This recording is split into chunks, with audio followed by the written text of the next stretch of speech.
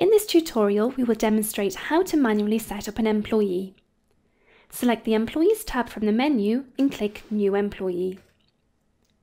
On the Personal screen, enter your employee's personal details accordingly. For RTI submission purposes, the employee's first name, surname, gender and date of birth are a mandatory requirement. If the employee's national insurance number is not known, the employee's address is also mandatory. To add a contact email address for the employee, select whether it is a work address or a personal address from the drop-down menu, then type in the employee's email address. To add additional email addresses, simply click on Add Email Address and repeat the process. An option is available to specify which email address is to be the primary address for use when emailing payslips or P60s. Similarly, a contact phone number can be entered for the employee. Select whether it is a work, home or personal number, then enter the telephone number.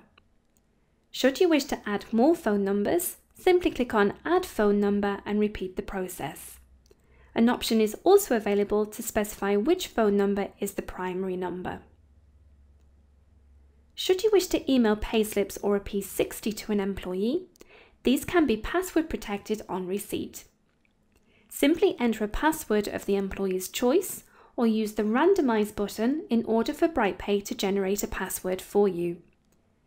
This field can also be used to set the password needed for the employee to access their self-service cloud utility should you have signed up to this service.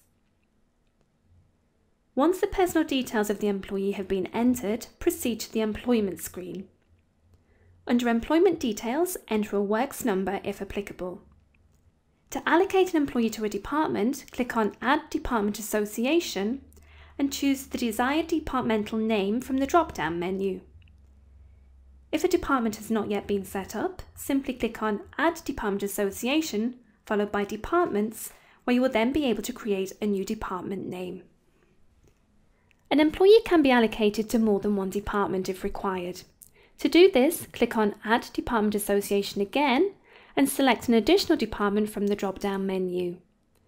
Set the employees weighting in each department by dragging the bars to the percentage required. Should the employee's annual leave and working days differ to the default, simply amend where necessary.